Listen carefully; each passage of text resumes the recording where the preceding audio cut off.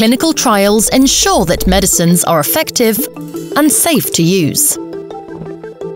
As of the 31st of January 2022, the European Union is improving the way in which clinical trials are regulated, making the process more efficient and trials more transparent. The Clinical Trials Regulation will ensure consistent rules throughout Europe and harmonise assessment and supervision via the new Clinical Trials Information System. A user-friendly website will allow public searches for information on every clinical trial approved through CTIS.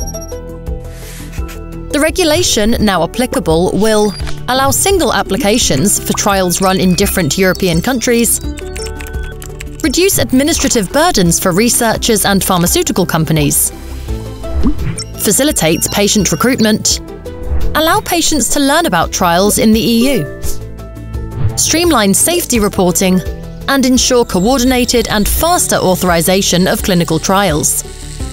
There will be a transition period. 2022, the Clinical Trials Information System is now live. 2023, all new clinical trial applications to be submitted via the system.